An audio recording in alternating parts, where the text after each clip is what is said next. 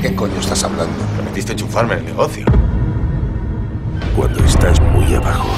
Esto es una película de género, no, no pretende mostrar ninguna realidad. Hay veces que coincide, pero claro, es que de lo que habla la película sobre todo es del lado oscuro del ser humano y eso por desgracia lo tenemos, ¿no? Eh, pero no, yo creo, me da la impresión de que los guionistas sí que han, sí que, sí que se han sumergido bastante en, en el, en, en la sociedad gallega, ¿no? Por, por algunos detalles, ¿no?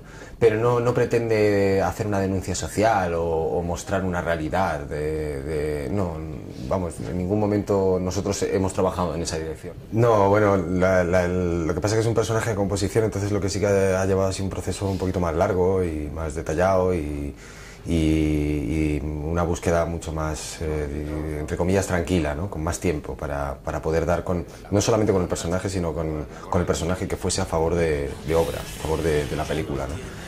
El momento más duro pues, eh, fue, el, fue el frío.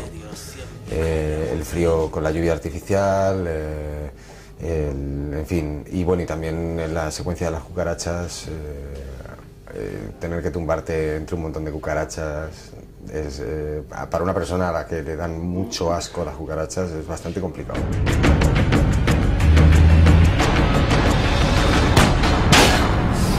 Sí, un poco es eso, ¿no? Eh, es eh, que te crees que, eres el rey del mundo, que nadie es más fuerte que tú, que... Y siempre, siempre, siempre hay alguien, y siempre luego hay alguien, y así, continuamente, ¿no? Pero bueno, es que es, que es así.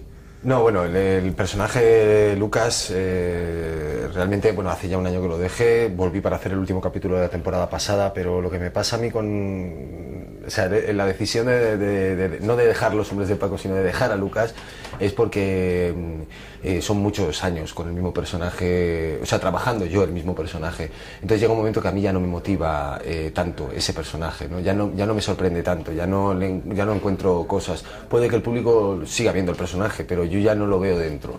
Entonces eh, creo que es el momento de, de decirle adiós, eh, como se le dice adiós a casi todos los personajes y, y seguir adelante. Carmelo Gómez. contra tus escamas.